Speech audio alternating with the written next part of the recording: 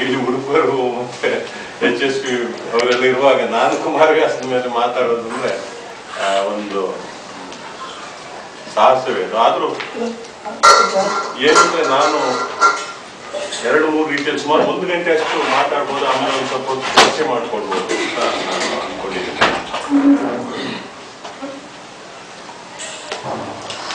ಒಂದು ಪ್ರಾರಂಭದಲ್ಲಿ ಒಂಚೂರು ಕುಮಾರವ್ಯಾಸನ ಹಿನ್ನೆಲೆ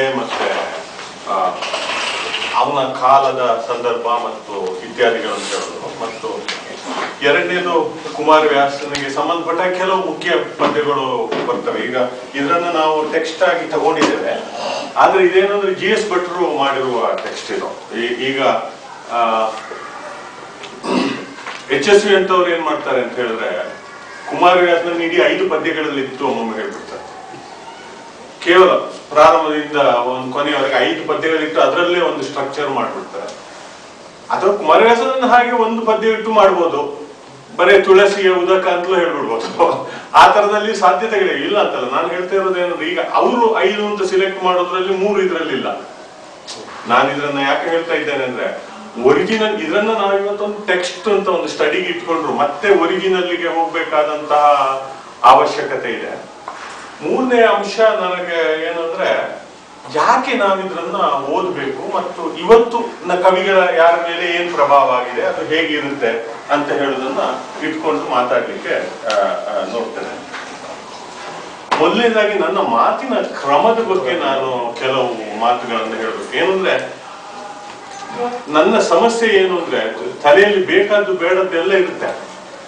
ಅದು ಎಲ್ಲ ಕಡೆಗೂ ಹಾರ್ತಾ ಇರುತ್ತೆ. ಅದು, ಅದನ್ನು ನಾನು ಬಹುಶಃ ಈ ರೀತಿ ಹೇಳ್ಬೋದು. ನನ್ನ ಮಾತಿನ ಕ್ರಮ ಹೇಗಿರುತ್ತೆ ಅಂದ್ರೆ, ಈಗ ನೀವು ಒಂದು ಜೇಡ ಬಲೆ ಕಟ್ಟುವುದನ್ನು ನೀವು ನೋಡಿದ್ರೆ, ಅದು ಹಿಂಗೆ ಒಂದು ನಡುವೆಲ್ಲ ಒಂದು ಸೆಂಟರ್ ಅಲ್ಲಿ ಇರುತ್ತೆ. ಅದು ಪಟ್ಟಂತ ಒಂದು ಕಡೆ ಬರುತ್ತೆ, ವಾಪಸ್ ಸೆಂಟರ್ಗೆ ಹೋಗುತ್ತೆ, ಇನ್ನೊಂದು ಕಡೆ ಹೋಗುತ್ತೆ, ಬರುತ್ತೆ. ಆ ಜೇಡ ಅದರ ಒಡಲ್ನಿಂದ ನೇದಂತಹ ಜಾಲ ಇದೆ ಅಲ್ಲ, ಅದರನ್ನ ನೀವು ಯಾವ್ದೆಲ್ಲ ಗೋಡೆಗೆ ಮುಟ್ಟುತ್ತೋ, ಅಲ್ಲಿ ಅದಕ್ಕೊಂದು ಚಿತ್ರ ಬರುತ್ತೆ. ಹಾಗೆ ಅದು ಅಲ್ಲಿ ಬಿಟ್ಟು ಹೋಗಿರುತ್ತೆ. ಸುಮ್ಮನೆ ಈಗ ನೆನಪದ್ರಿಂದ ಅದನ್ನ ಹಾಗೆ ಹೇಳ್ತಾ ಇದ್ದೀನಿ, ಈಗ ಮಾತಾಡುವಾಗ ಬಂದಿರೋ ಇದು. ಹಾಗೆ ಅದು ಇರುತ್ತೆ, ಅದು ಹಿಂದೆ ಮುಂದೆ ಹಿಂದೆ ಮುಂದೆ ಹೋಗುತ್ತೆ. ಒಂದು, ಒಂದ್ಸಲ ಮುಂದೆ ಹೋಗುತ್ತೆ, ಒಂದ್ಸಲ ಹಿಂದೆ ಬರುತ್ತೆ, ಒಂದ್ಸಲ ಮುಂದೆ ಹೋಗುತ್ತೆ, ಒಂದ್ಸಲ ಹಿಂದೆ ಬರುತ್ತೆ. ಆದ್ರೆ ನೀವು ಚೂರು ಕಷ್ಟಪಟ್ಟು ಅದನ್ನ ಫಾಲೋ ಮಾಡದೇ ಇದ್ರೆ ಏನಪ್ಪ ಇದ್ದಲ್ಲಿ ಪೂರಾ ಕತ್ತಿ ಬೀಸ್ತಾ ಓಡಾಡ್ತಿದಾರಲ್ಲ ಅಂತ ಅನ್ಸ್ಬೋದು. ಅದು ನಾನು ಒಂದು ಅದಕ್ಕೊಂದು ಪೂರ್ವ ನಿಮಿತ್ತವಾಗಿ ಹೇಳೋದು. ಇನ್ನೊಂದು ಏನು ಅಂದ್ರೆ ನಾನು ಪ್ರತಿಯೊಬ್ಬ ವಿಮರ್ಶೆ ಬರೆಯುವವನಿಗೆ ಅಥವಾ ಸಾಹಿತ್ಯ ಓದುವವನಿಗೆ ಅವನದೇ ಆದ ಒಂದು ಚಿಂತನಾ ಕ್ರಮ ಇರುತ್ತೆ. ಅದು ಅದು ಸರಿಯಾದ್ದು ಅಂತಲ್ಲ ಈಗ ವಿಮರ್ಶೆಯಲ್ಲಿ ಚರ್ಚೆಗಳಿರೋದೆ. ಉದಾಹರಣೆಗೆ ಬಿ ಎಂ ಶ್ರೀ ಅವರಿಗೂ, ಬೇಂದ್ರೆ ಅವರಿಗೂ ಕುಮಾರವ್ಯಾಸನ ಬಗ್ಗೆ ದೊಡ್ಡ ಚರ್ಚೆ ಇದೆ. ಬಿ ಎಂ ಶ್ರೀ ಹೇಳಿದ್ದನ್ನು ಬೇಂದ್ರೆ ಅವರು ಒಪ್ಪೋದೇ ಇಲ್ಲ. ಬಿ ಎಂ ಶ್ರೀ ಅದರಲ್ಲಿ ಒಂದು ದುರಂತ ಪ್ರಜ್ಞೆಯನ್ನ ಎಲ್ಲ ಕಡೆ ತರಕ್ಕೆ ನೋಡಿದ್ರೆ ಇವರು ಅಶ್ವತ್ಥಾಮನನ್ನ ಅಲ್ಲಿ ಇದೆ, ದುರಂತದ ಛಾಯೆ ಇದೆ, ನಮ್ಮ ನೋಡುವ ಕ್ರಮವೇ ಬೇರೆ ಅಂತ ಬೇಂದ್ರೆ ಅವರು ಹೇಳ್ತಾರೆ. ಅಂದ್ರೆ ನಾನು ಹೇಳ್ತಾ ಇರೋದು ಒಂದು ಒಬ್ಬ ಹೇಳಿದ್ದೆ ಸರಿ ಅಂತಲ್ಲ. ವಿ ಎಂ ಶ್ರೀ ಬೇಂದ್ರೆ ಅಂತವರಿಗೆ ಇದೆ. ಎಸ್ ವಿ ರಂಗಣ್ಣನ್ ಅಂತವ್ರ ಜೊತೆ, ಆ, ಕುವೆಂಪು ಮತ್ತು ಕುರ್ತಕೋಟಿಯವರು ಚರ್ಚೆ ಮಾಡ್ತಾರೆ. ಕುಮಾರವ್ಯಾಸನ ಸಂದರ್ಭದಲ್ಲಿ ಮಾತು ಅಂದ್ರೆ ಏನು ಅಂತ? ಮಾತು ಜಾಸ್ತಿ ಆಯ್ತೋ ಕಮ್ಮಿ ಆಯ್ತೋ? ಸಿಕ್ಕಾಪಟ್ಟೆ ಮಾತಿದೆ ಕುಮಾರವ್ಯಾಸನಲ್ಲಿ. ಮಾತು, ಅದನ್ನ ಎಸ್ ವಿ ರಂಗಣ್ಣನವರು ಯಾವ ಒಂದು ಉಪಮೆಯಲ್ಲಿ ಹೇಳ್ತಾರೆ ಅಂದ್ರೆ, ಒಂದು ದೊಡ್ಡದ ಆಲದ ಮರಕ್ಕೆ ಸಮೃದ್ಧವಾದ ಎಲೆಗಳಿರೋದಿಲ್ವೇ? ಹಸಿರಿನ ರಾಶಿಯ ಹಾಗೆ ಹಾಗೆ ಮಾತು ಅಂತ ಹೇಳ್ತಾರೆ ಎಸ್ ವಿ ರಂಗಣ್ಣ. ಕುಮಾರವ್ಯಾಸನಲ್ಲಿ. ಅದನ್ನು ಒಪ್ಕೊಂಡು ಪಂಪನ ಜೊತೆ ಇಟ್ಟು ಎಸ್ ವಿ ರಂಗಣ್ಣನ ಒಪ್ಕೊಂಡು ಇವರು ಚರ್ಚೆ ತೆಗಿತಾರೆ. ಯಾರು? ಕುವೆಂಪು. ಹಾಗೆ ಕುವೆಂಪು ಮತ್ತು ಎಸ್ ವಿ ರಂಗಣ್ಣನ ಜೊತೆ ಕುರ್ತಕೋಟಿ ಅವರು ಚರ್ಚೆ ಶುರು ಮಾಡ್ತಾರೆ. ಇವರ ಜೊತೆ ಇಟ್ಕೊಂಡು ಬೇರೆ ಕಡೆ ಬೇರೆ ಬೇರೆ ಅಂದ್ರೆ ನಾನು ಹೇಳ್ತಿರೋದು ಒಂದು ಬೇರೆ ಬೇರೆ ಅಂಶಗಳಿರ್ತವೆ. ಅವನಿಗೆ ಮೂಲ ದ್ರವ್ಯವಾಗಿ, ಒಂದು ಮೂಲ ಬೀಜವಾಗಿ, ಒಬ್ಬ ಒಬ್ಬನ ಚಿಂತನ ಕ್ರಮದ ಮೇಲೆ ನಡೆದಂತ ಯಾವ ಯಾವ್ದೋ ಪ್ರಭಾವಗಳಿರ್ತವೆ. ಅದು ಆ ಪ್ರಭಾವ ನನ್ನದೇನು ಅಂತ ಹೇಳದೇ ಇದ್ರೆ ನಿಮಗೆ ನಾನು ಹೇಳೋ ಮಾತುಗಳ ಹಿನ್ನೆಲೆ ಗೊತ್ತಾಗೋದಿಲ್ಲ. ಅದಕ್ಕೆ ಪೀಠಿಕೆಯಾಗಿ ನಾನು ಹೇಳ್ಬೇಕು. ಈಗ ನನ್ನ ನಂಬಿಕೆ ಏನು ಅಂತ ಹೇಳಿದ್ರೆ ಭಾಷೆ ಅಂತ ಹೇಳೋದ್ರ ಉಪಯೋಗದಲ್ಲಿ ಒಂದು ಪರಂಪರೆ ಇರ್ತದೆ. ಬಹಳ ಎಚ್ ಎಸ್ ವಿ ಅವರು ಬಹಳ ಒಂದು ಮುಖ್ಯವಾದಂತ ಒಂದು ಇಂಟರ್ವ್ಯೂ ಕೊಟ್ಟಿದ್ರು ಬಹಳ ಹಿಂದೆ ಕನ್ನಡ ಪ್ರಭಕ್ಕೆ. ಅದರಲ್ಲಿ ಅದರ ಬಗ್ಗೆ ವಿವರಿಸ್ತಾರೆ ಭಾಷೆಯಲ್ಲಿ ಎಲ್ಲವೂ ಇರ್ತದೆ. ನಮಗೆ ಭಾಷೆ ಬಿಟ್ರೆ ಬೇರೆ ಗತಿಯೇ ಇಲ್ಲ. ಆಯ್ತಾ? ಅದರಲ್ಲಿ ಎಲ್ಲವೂ ಇರ್ತದೆ ನಮ್ಗೆ ಕೆಲವು ಗೊತ್ತಿರ್ತದೆ ಗೊತ್ತಿರೋದಿಲ್ಲ. ಆ ಭಾಷೆ ಒಂದು ಪರಂಪರೆಯನ್ನ ಕಟ್ಟಿರುತ್ತೆ. ನಮಗೆ ಕಣ್ಣಿಗೆ ಕಾಣ್ತಿರುತ್ತೆ ಕೆಲವು ಸಲ, ಕಾಣದೇ ಅದಿರುತ್ತೆ ಹಾಗಿದ್ರೆ ಏನು ಅಂದ್ರೆ ಆ ಪರಂಪರೆ ಅದರಷ್ಟಾಗೆ ಅದನ್ನ ನಾವು ವಿಸ್ತರಿಸಿಕೊಂಡ್ರೆ ಅದು ಸಂಪ್ರದಾಯ ಆಗುತ್ತೆ ಅದನ್ನ ಪ್ರಶ್ನಿಸಿ, ಅದಕ್ಕೆ ನಮಗೆ ಸೇರಿಸಬೇಕಾದ್ದನ್ನ ಸೇರಿಸಿ, ನಮಗೆ ಬೇಡ ಅಂತಿರುವುದನ್ನು ಅದರಿಂದ ತೆಗೆದು, ನಮ್ಮ ಶಕ್ತಿಯನ್ನು ಅದಕ್ಕೆ ಕೊಟ್ಟು ನಾವು ವಿಸ್ತರಿಸುವ ಕ್ರಮ ಇದೆ ಅಲ್ಲ ಒಂದು ಪರಂಪರೆಯನ್ನ. ಅದು ನಿಜವಾಗಿ ಪರಂಪರೆಯ ಮುಂದೊತ್ತು. ಭಾಷೆಯ ಮೂಲಕ ಕೆಲಸ ಮಾಡುವ ಎಲ್ಲರೂ ಭಾಷೆಯನ್ನು ಬಿಟ್ಟರೆ ಬೇರೆ ವಿಷಯ. ಅದು ಅದರ ಬಗ್ಗೆ ಏನು ಇಲ್ಲ. ಭಾಷೆ ಇಲ್ಲದೆ ಮಾಡುವಂತ ಎಷ್ಟೋ ವಿಷಯಗಳಿದ್ದಾವೆ ಭೂಮಿಯಲ್ಲಿ. ಆದ್ರೆ ಭಾಷೆಯ ಮೂಲಕ ನಾವು ಕೆಲಸ ಮಾಡಿದಾಗ ಈ ಮುಂದೊತ್ತು ಮುಂದುವರಿಕೆ ಅಂತ ಹೇಳೋದನ್ನ ನಾವು ಯಾವುದನ್ನು ಅಂತ ಹೇಳ್ತೇವೆ. ಅದು ಒಂದು ಪರಂಪರೆ, ಒಂದು ಭಾಷೆಯ ಮೂಲಕ ನಮಗೆ ಬಂದದ್ದಿರ್ತದೆ. ಅದು ಸಾಹಿತ್ಯ ಅಧ್ಯಯನ ಈಗ ನನಗೆ ಇವತ್ತು ಬಂದಾಗ ಗೊತ್ತಾಯ್ತು. ನೀವು ಪಂಪನನ್ನ, ನಾಗಚಂದ್ರನನ್ನ, ರನ್ನನನ್ನ, ಪೊನ್ನನನ್ನ ಎಲ್ಲ ಓದಿದ್ದೀರಿ ಅಂತ. ಅವೆಲ್ಲವೂ ನಮ್ಮ ಭಾಷೆಯಲ್ಲಿ ಯಾವ್ಯಾವುದೋ ರೀತಿಯಲ್ಲಿ ಅಡಕಾಗಿರುತ್ತೆ. ಕೆಲವು ಶಬ್ದಗಳು ಉಪಯೋಗದಲ್ಲಿ ಇರ್ತವೆ, ಕೆಲವು ಶಬ್ದಗಳು ಉಪಯೋಗದಲ್ಲಿ ಇರೋದಿಲ್ಲ. ಅದರ ಮೇಲೆ ಡಿ ಎಲ್ ನರಸಿಂಹಾಚಾರ್ಯಗಳು ಪದಗಳ ಚರಿತೆಯ ಕುರಿತು- ಒಂದು ಬಹಳ ಇಂಟ್ರೆಸ್ಟಿಂಗ್ ಆದಂತಹ ಒಂದು ಲೇಖನವನ್ನು ಕೂಡ ಬರೆದಿದ್ದಾರೆ. ಒಂದು ಪುಸ್ತಕ ಕೂಡ ಇದೆ. ಹೇಗೆ? ಕುಮಾರವ್ಯಾಸನಲ್ಲಿ ಮತ್ತೆ ಡೆಮಾನ್ಸ್ಟ್ರೇಟ್ ಮಾಡ್ಬೋದು. ಸತಿ ಅಂತ ಹೇಳುವ ಶಬ್ದಕ್ಕೆ ಕುಮಾರವ್ಯಾಸನಲ್ಲಿ ಏನ್ ಅರ್ಥ? ಇವತ್ತು ಏನರ್ಥ ಇವತ್ತು ನಾವು ಸತಿ ಅಂತ ಹೇಳಿದ್ರೆ ಹೆಣ್, ಹೆಂಡತಿ ಅಂತ ಹೇಳುವ ಅರ್ಥದಲ್ಲಿ ಉಪಯೋಗಿಸ್ತೇವೆ. ಸತಿ ಶಿರೋಮಣಿ ಅಂತ ಹೇಳುವ ರೀತಿಯ ಪ್ರಯೋಗದಲ್ಲಿ ಕುಮಾರವ್ಯಾಸನಲ್ಲಿ ಉತ್ತರೆಯನ್ನ ಸತಿ ಅಂತ ಹೇಳ್ತಾರೆ.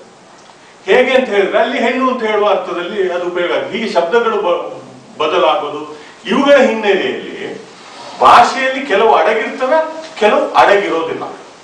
ಒಬ್ಬ ದೊಡ್ಡ ಕವಿ ಏನು ಮಾಡ್ತಾನೆ, ಆ ಪರಂಪರೆಯ ಜ್ಞಾನ ಇರುವಂತಹ ಒಂದು ಕವಿ, ಭಾಷೆಯಲ್ಲಿ ಅಡಗಿರುವಂತಹ ಸಾವಿರಾರು ಅರ್ಥಗಳನ್ನ ಹೊರಗೆ ತೆಗಿತಾ ಇರ್ತಾನೆ. ಬೇಂದ್ರೆ ಮಾಡೋದು ಅದು.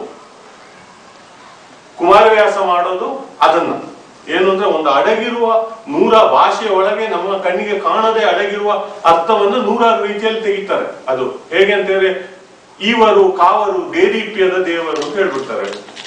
ಬೇಂದ್ರೆ. ದೇವರು ಅಂದ್ರೆ ದಿಯೋಯೋನ, ಬೆಳಕು ಅಂತ. ದೇದೀಪ್ಯ ಅಂತ ಹೇಳೋ ಶಬ್ದವನ್ನ ಬೇಂದ್ರೆಯಲ್ಲಿ ಹಿಂದೆ ಇಟ್ಟದ್ರಿಂದ ಬೆಳಕು ಅಂತ ಹೇಳುವ ಅರ್ಥ ದೇವರಿಗೆ ಇದೆ ಅಂತ ಹೇಳೋದು ನಮಗೆ ಗೊತ್ತಾಗ್ತದೆ. ಆ ಶಬ್ದವನ್ನು ದೇವರು ಅಂತ ಹೇಳುವ ಶಬ್ದವನ್ನು ಉಚ್ಚಿ ಬೆಳಕು ಅಂತ ಹೇಳುವ ಅರ್ಥವನ್ನು ಬೇಂದ್ರೆ ತೆಗೆದು ಬಿಡ್ತಾರೆ ಹೊರಗೆ. ಅಂದ್ರೆ ಅದು ಅದರೊಳಗೆ ಇತ್ತು. ನಮಗೆ ಕಾಣ್ತಿರ್ಲಿಲ್ಲ. ಬೇಂದ್ರೆಗೆ ಕಂಡಿದೆ. ಒಂದು ಲೋಕಸ್ಮೃತಿಯನ್ನ ಎಬ್ಬಿಸ್ಬಿಡ್ತಾರೆ. ಅಂದ್ರೆ ನಾನು ಲೋಕಸ್ಮೃತಿ ಅಂದ್ರೆ ಅಡಗಿರುವ ನೆನಪನ್ನ ತೆಗೆಯುವಂತ ಕ್ರಮ. ಅಂದ್ರೆ ಪುನಃ ನಾನು ಪರಂಪರೆಗೆ ಹಿಂದೆ ಬಂದು ಹೇಳ್ತಿದ್ರೆ, ಅಲ್ಲಿ ಒಂದು ಇದೆ ಅದು ನಮ್ಗೆ ಗೊತ್ತಿರ್ಲಿ ಗೊತ್ತಿರಲ್ಲದೆ ಇರಲಿ, ಅಲ್ಲಿ ಒಂದು ಇದೆ. ಅದರಿಂದ ನಮಗೆ ಬೇಕಾದ್ದನ್ನು ಉಪಯೋಗಿಸಿಕೊಂಡು ಬೇಡದ್ದನ್ನ ಬಿಟ್ಟು ಬೇಕಾದ್ದನ್ನ ನಾವು ಕಟ್ಟುವ ಕ್ರಮ ಇದೆ ಅಲ್ಲ ಅದು ನಿಜವಾಗಿ ಒಂದು ಮುಂದೆ ಅಂದ್ರೆ ಇದನ್ನ ಈ ನಾನು ಎಸೆನ್ಷಿಯಲ್ ಇಂಗ್ಲಿಷ್ ಸಾಹಿತ್ಯದ ವಿದ್ಯಾರ್ಥಿ ಆಗಿರೋದ್ರಿಂದ ಇದರ ಮೂಲ ಇನ್ಫ್ಲುಯೆನ್ಸ್ ಎಲ್ಲಿ ಅಂತ ಹೇಳ್ಬಿಡ್ತೇನೆ ನಾನು. ಅದು ಯಾಕಂದ್ರೆ ಸ್ಟಡಿ ಕ್ಲಾಸ್ ಆಗಿರೋದ್ರಿಂದ ಟೈಮ್ ಇರೋದ್ರಿಂದ ಆ ಥರದಲ್ಲಿ ಹೇಳೋದು.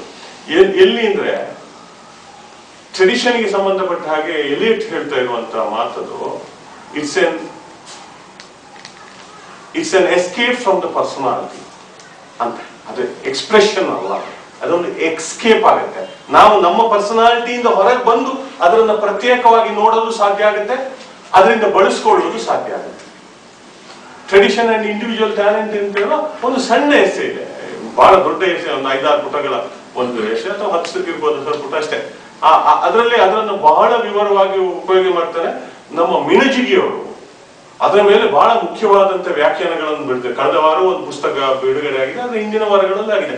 ಅಂದ್ರೆ ನಾನು ಹೇಳ್ತಾ ಇರೋದು, ಒಂದು ಪರಂಪರೆ ಅಂತ ಹೇಳೋ ಪದವನ್ನು ಉಪಯೋಗಿಸಿಕೊಂಡಾಗ ನನ್ನ ಹಿನ್ನೆಲೆಯಲ್ಲಿ ಏನಿದೆ ಅಂತ, ಇಷ್ಟು ವಿವರವನ್ನು ಹೇಳಲಿಕ್ಕೆ ಕಾರಣ ಏನು ಅಂದ್ರೆ, ಇದರ ಒಂದು ಬೇಸ್ ಇಲ್ಲದಿದ್ರೆ, ಫೌಂಡೇಶನ್ ಇಲ್ಲದಿದ್ರೆ ಸುಮ್ಮನೆ ಅದರ ಮೇಲೆ ಒಂದು ಕಟ್ಟಡವನ್ನ ಕಟ್ಟಿದ ಹಾಗೆ ಆಗ್ಬೋದು ಅಂತ ಹೇಳುವ ಕಾರಣ